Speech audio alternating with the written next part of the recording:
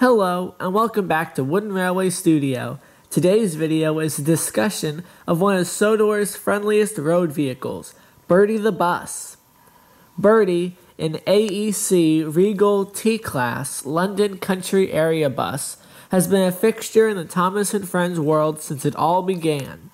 To put this into numbers, his first Railway Series appearance was in the fourth book, Tank Engine Thomas Again, which was first published in 1949. Thomas and Bertie in Season 1 was his first speaking role in, in the television series. He has appeared in every season of the television series ever since.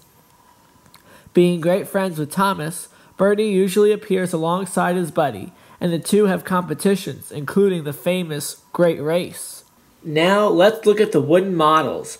I have the old style model here, and the newer style here, which is actually the one I used to play with when I was a kid. The main difference is obviously the passengers in the window. And the original Berties had the silhouettes of the people. And however, there's one person in particular smoking a pipe, which parents thought it was inappropriate to have someone like this on the train. So in 2002, when the Thomas Wooden Railway line was revamped, all the passengers in the windows they were removed, and then Bertie's face was updated.